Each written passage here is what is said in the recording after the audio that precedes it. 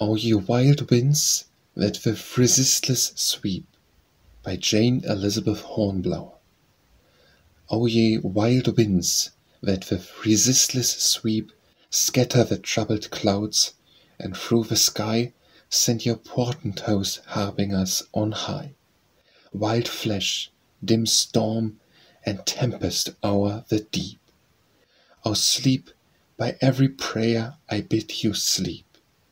Hush your strange music, back into your caves, Angel of peace, walk forth upon the waves, And o'er the trembling sea thy vigils keep. Outspread thy wing o'er the tired voyager, And gently waft him o'er the sunny spray. Bid the wild lightnings at soft distance play, And tenderest breezes stir the quiet hour. Be thy blessed calm around him as he moves, And oh, restore him to the hearts he loves.